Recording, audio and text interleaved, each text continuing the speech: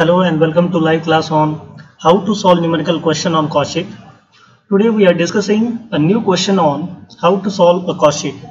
In this question there is one adjustment and that adjustment is regarding how to calculate the value of finished goods when it is not given in the question. So if you look at the question, in this question basically the information regarding a commodity A for the year ending 31st December 2020 is given for that purpose, we have purchase of material 6000, direct wages 5000, rent rates and insurance 2000, carriage inward 100, opening stock of raw material here 1000 rupees is given. Simultaneously, the finished products stock that is 200 tons and its value 800 rupees is given. The closing stock on 31st of December 2013. So here it should be taken is that uh, taken as an 20 that is raw material which is given 1100 now in case of finished product here the stock of finished product 400 tons is given but its price is not given. So here the question is we have to find out the value of finished product. The cost of factory supervision 400 sale of finished product that is total sales volume that is 15000 rupees is given. As far as advertising and selling cost is concerned 40 paisa per ton sold is the amount of selling and distribution expenses and during the year they have sold 3000 tons of the commodity and they have asked us to prepare a cost sheet. Now let's start with the preparation of cost sheet. In this slide you can see on my right hand side the question which was given is mentioned over here. With the help of this question and the proforma of cost sheet we will solve the question. Now first of all, whenever we are solving the cost sheet problem, first the three important elements that we should take into account that is material, labor and expenses.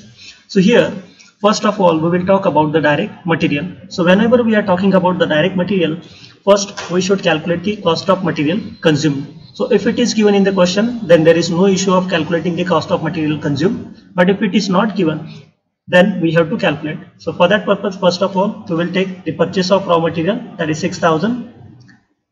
So the opening stock of raw material 1000 which was given.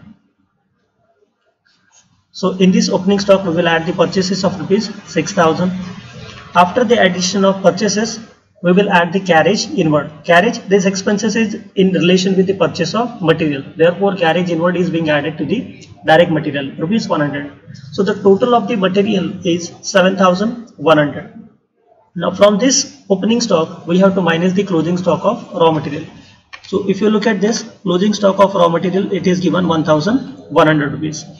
So the cost of material consumed came to rupees 6000 which is 7100 minus 1100 now in this cost of material consumed we have to add again the two important elements that is direct labor and direct expenses. Now if you look at the problem here the direct wages given is 5000 so this will be added over here. Direct wages rupees 5000 now if you look at the question there is no any direct expenses are mentioned over here. So therefore the total of these two elements will be prime cost. And hence 5000 plus 6000 the prime cost will be rupees 11000 rupees. Now after the prime cost we have to add the factory overheads. Now if you look at the question the cost of factory supervision 400 is given. Therefore the next heading will be addition of factory overheads. In this factory overhead rent rent and insurance 2000 rupees.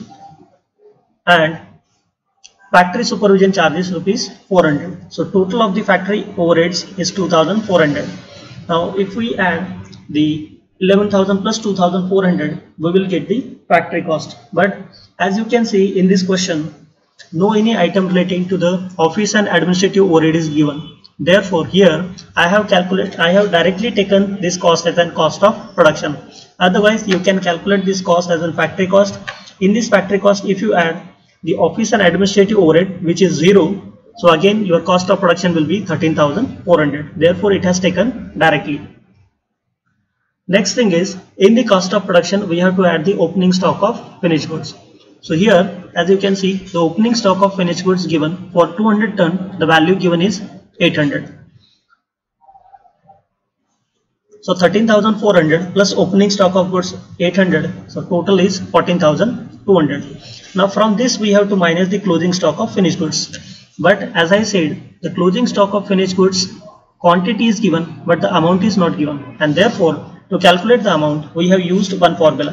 And that formula is total cost of production is 13400 therefore 13400 multiplied by the total units. See here finished products they are left is only 400 tons so divided by the total number of units is 3200 now how this 3200 came if you look at the question during the year 3000 tons of the commodity has been sold. It means that 3000 units were already there which has been sold by the company and the opening stock of finished goods was 200 tons and the closing stock was 400 tons. It means from the opening if you minus the closing still 200 tons are left. It means that totally 3000 plus 200 is equal to 3200 was the total stock of finished goods and hence 13,400 multiplied by 400 tons divided by 3,200 it came to rupees 1,675 which is the value of closing stock of finished goods. Now once you get the closing stock of finished goods the whatever portion left that portion will be called as the cost of goods sold. In this cost of goods sold we have to add the selling and distribution overhead. Therefore we will add the selling overheads. And selling overheads are 1200 how it is 1200 as it is mentioned in the question advertising and selling cost is 40 paisa per ton sold. And how many number of tons they have sold? 3000 so 3000 multiplied by 40 paisa. That is 0.40 you will get the answer of rupees 1200 now in the cost of goods sold of rupees 12525 if you add the selling overhead of rupees 1200 you will get the total cost of rupees 13,725. The another name for the total cost is cost of goods sold. Now in the question, the total sales, see here, sale of finished goods 15,000 rupees is given. So from this total cost of sales, if you minus the 15,000 rupees, we will get the difference and that difference will be called as a profit that is 1275. So this was the question and in this question only the trick was to calculate the closing stock of finished goods as the quantity was given but the amount was not given. If you have any of the doubt or the queries regarding this question, you can chat me or you can comment me in the Google Classroom as well as in this video's comment box. And if you like this video, please subscribe the channel, share and like. Thank you.